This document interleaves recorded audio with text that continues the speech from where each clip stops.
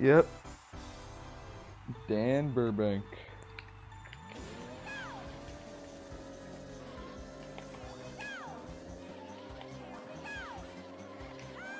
He's now the non-shortcut champion. Dude, that's so so weird to say that. Like Dan is the non-shortcut champion now. Well, I think based on like world, I think, I think on average finish he isn't. I, I believe he's a little bit below for average finish.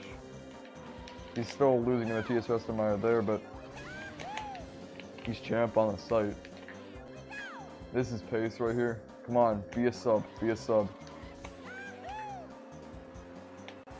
Okay, that's that's fine. That's fine. I've got a huge uh, grace period, grace window here. Yes!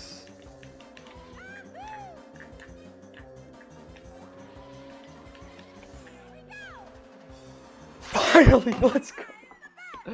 Dude, this took this track took forever.